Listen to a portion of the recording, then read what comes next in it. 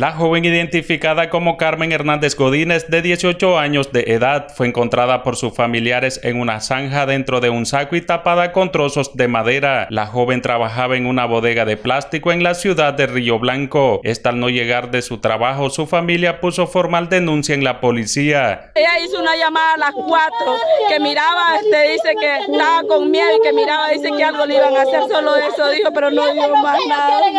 ¿A qué hora salió ella? Dice el CPF que salió a las 4 porque nosotros venimos de madrugada cuando nos llamaron que ella no había llegado y todas las cositas están allí de ella. En una nota de prensa publicada por la policía, manifestó que detuvo al sospechoso Dolvin Ebenor Centeno Centeno de 20 años de edad. Centeno fue la última persona que estuvo con la víctima. Ambos trabajaban en el mismo lugar. Yo pido justicia pues por lo que pasó, porque es una, joven, una jovencita llena de vida y entonces pido justicia por eso, porque en realidad nunca nos esperamos esto que fuera a pasar.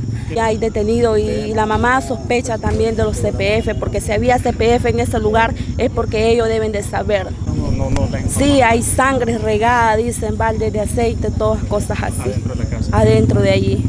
¿Su nombre?